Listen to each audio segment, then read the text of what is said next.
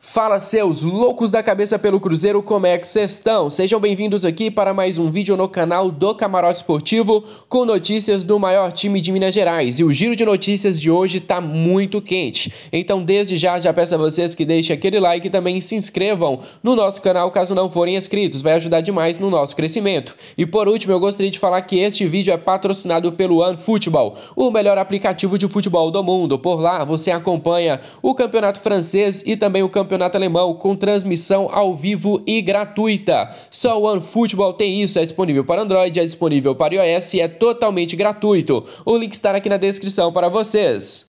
Olha só, nação, aconteceu uma coisa muito curiosa. Algumas semanas atrás, aqui no nosso canal, eu fiz a indicação do atacante Aleph Manga, jogador destaque do Campeonato Carioca, jogador destaque do Volta Redonda, que estava bem no campeonato e ainda está. E ele era o artilheiro junto com o Rodrigo Muniz naquela época, com cinco gols. Só que hoje, o Aleph Manga é artilheiro isolado do Campeonato Carioca. São nove partidas e nove gols marcados. E o jogador vem me chamando a atenção desde o início do Campeonato Carioca. Ele tem velocidade, tem boa finalização, se mostrou ser um cara frio, excelente drible e o jogador gosta também de atuar como centroavante e também caindo pelas beiradas. Resumindo para vocês, ele faz a função do Rafael Sobis, só que ele tem mais mobilidade do que o Rafael Sobis, ele tem mais disposição dentro de campo e é um jogador que vem se destacando. E uma coisa muito interessante aconteceu foi que o empresário do jogador, Marley Feliciano, declarou ao site do ESPN.com.br que o atleta de 26 anos estaria supervalorizado dentro do Brasil e teria até mesmo recebido ofertas de clubes da Série A e também da B. Mas a parte que mais me chamou a atenção foi que ele admitiu para nós de que o Cruzeiro tem sim interesse na contratação do jogador. Isso mesmo, vou citar as palavras dele para vocês. Sim, se o Cruzeiro consultou o atacante, mas te adianto que a lista é bem maior, mas a minha postura de comunicação é de manter sigilo da decisão da tomada pelo Volta Redonda e do próprio atleta que pediu para finalizar o Carioca. Isso mesmo, até este momento, até o final do Campeonato Carioca, o Aleph Manga não vai sair do Volta Redonda. Renato, seria um jogador caro para o Cruzeiro? Não. O empresário de Aleph Manga garante que vai conversar com o presidente do Volta Redonda ao término do Campeonato Carioca para definir as possibilidades de saída do jogador, já que 50% dos direitos econômicos do atacante são divididos entre o Volta Redonda e o próprio atacante. Isso mesmo, Volta Redonda só tem 25% dos direitos, os outros 25% pertencem ao próprio jogador e os outros 50% pertencem ao clube anterior do Aleph Manga. Renato, você acha uma aposta válida para o Cruzeiro? Acho, até por isso eu fiz essa recomendação há semanas atrás. É um jogador que vem se destacando, é um jogador que está em alta, está muito confiante e poderia sim agregar com o Cruzeiro. Só para você ter ideia, neste domingo, dia 4, o camisa 11 voltou a marcar dois belos gols e foi destaque da vitória por 3 a 2 sobre o Novo Iguaçu. E se você lembrar um pouco mais antes, ele marcou dois gols também contra o Fluminense na vitória do Volta Redonda. O jogador está indo muito bem. Pelo Volta Redonda, no total são 18 jogos e 15 gols. Nesta temporada são 9 jogos e 9 gols marcados. Então é um jogador que está em uma fase muito boa. Iria depender, claro, dos valores dele. Eu não acho que seja um jogador fora da realidade do Cruzeiro. Até porque quando o empresário dele divulgou algumas equipes que estariam interessadas na contratação, ele citou times que o Cruzeiro poderia brigar. Ele falou Goiás, ele falou Guarani, ele falou Curitiba, Ponte Preta, falou Vasco e o Cruzeiro pode bater de frente com qualquer uma dessas equipes. O Cruzeiro está numa crise financeira? Está, mas tem condições para bater de frente com Goiás, Ponte Preta, Guarani. Até por isso eu acho que o Aleph Manga seria uma boa opção de mercado. E eu volto é, a vocês esta relação. Vocês gostariam da contratação do artilheiro do Campeonato Carioca? Para mim, ele tem o meu apoio. Basta saber agora se a diretoria vai levar à frente o interesse no jogador. Até o final do Campeonato Carioca, você pode ter certeza que o Aleph Manga não sai do Volta Redonda.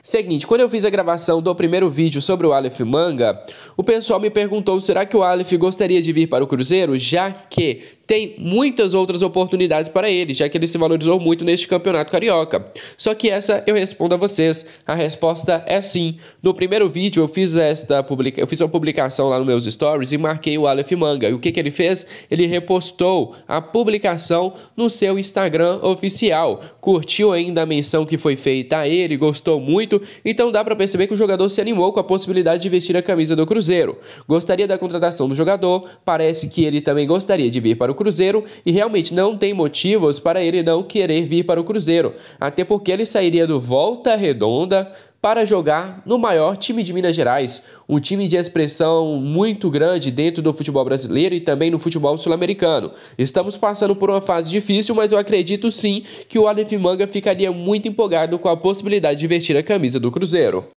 Olha só, aconteceu uma coisa muito inusitada lá no Barro Preto, que é a antiga sede administrativa do Cruzeiro. Isso porque torcedores colocaram um boneco em alusão ao presidente Sérgio Rodrigues e colocaram fogo nele e chamavam ele de Judas, pedindo também a saída, a renúncia do presidente Sérgio Rodrigues. Quando eles chamam Sérgio de Judas, eles estão indignados com a falta de palavra do Sérgio, que prometeu para nós os salários em dia, prometeu para nós de que o Cruzeiro estaria lá sempre brigando, que estaria na primeira divisão e tal, aquilo, fez aquela alusão toda. Prometeu também que seria implacável com as pessoas que lesaram o clube, o Wagner, o Sérgio. Prometeu que ia ser implacável com o Itaí, e essas pessoas você podem perceber que estão ainda como conselheiros do Cruzeiro. O Gilvan de Pinho Tavares continua como conselheiro do Cruzeiro e até ajudou no novo estatuto. Então, ou seja, o Sérgio não conseguiu cumprir a sua palavra mais uma vez. Isso deixa o torcedor muito revoltado. Então, Renato, você gostaria da saída do Sérgio Rodrigues do Cruzeiro? Não. Mas por que, Renato? Porque não tem ninguém melhor no cargo para colocar. Na última eleição, nós tivemos o Sérgio Rodrigues e o Paulo César Pedrosa. Vocês gostariam do Paulo César Pedrosa como presidente do Cruzeiro? Todo mundo sabe que o Pedrosa é da família União. Isso aí é assumido. E a torcida do Cruzeiro vem buscando aí há muito tempo tentar tirar a família União de dentro do Cruzeiro. E se você pede a renúncia do Sérgio, você entrega para, o, para a família União o Cruzeiro de bandeja. Então, se você quiser a renúncia do Sérgio, você também tem que saber que provavelmente o Paulo César Pedrosa vai assumir a presidência do Cruzeiro.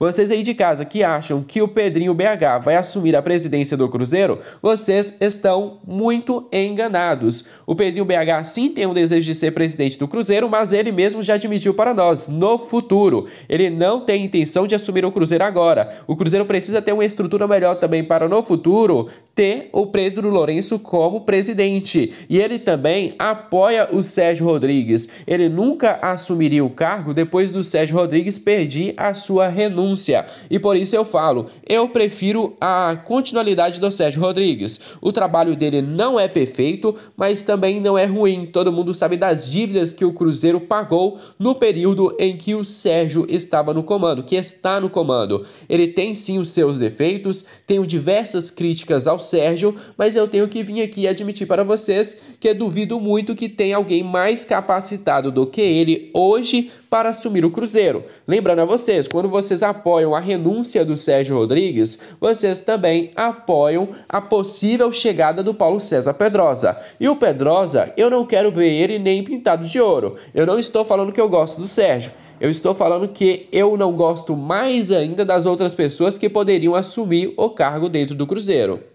Seguinte nação, um dos ídolos da história do Cruzeiro, o zagueiro Léo, ele concedeu entrevista onde ele falou que vai voltar para o Cruzeiro está otimista para o seu retorno ao Brasil. Todo, todo mundo lembra, o Léo hoje está nos Estados Unidos, ele foi para lá no dia 23 de dezembro, e eu gostaria de lembrar a vocês que os custos, como anunciado pelo Cruzeiro na época, têm sido inteiramente do zagueiro Léo. Isso mesmo, ele entrou lá com indicação do Rodrigo Dourado, que é o volante do Internacional, e eles recomendaram esta área lá nos Estados Unidos para ele, que é muito boa para tratar o seu joelho. E o Léo não pensou duas vezes, pegou o dinheiro do próprio bolso e falou: Eu vou me recuperar. Até porque não é o primeiro cara que decide se recuperar longe do Cruzeiro. Até por isso, né, traz um, um tal questionamento sobre o departamento médico do Cruzeiro.